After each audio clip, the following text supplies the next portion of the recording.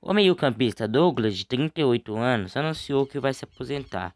O meio-campista Douglas tem 38 anos e atuava recentemente pelo clube brasilense. Douglas tinha 38 anos e o seu apelido era de maestro pifador aqui no game. Ele fazia ótimas assistências e pifava vários atacantes na cara do gol, como Luan, Miller Bolanhos, Juliano e entre os outros atacantes que ele pifava na cara do gol. Douglas conquistou muitos títulos importantes como o Grêmio, como a Copa do Brasil em 2016, conquistou a Libertadores em 2017, mas ele não jogava porque ele estava machucado, conquistou o Gauchão em 2018 e 2018. Depois teve um tempo que ele voltou, mas isso ele foi para o Brasilense.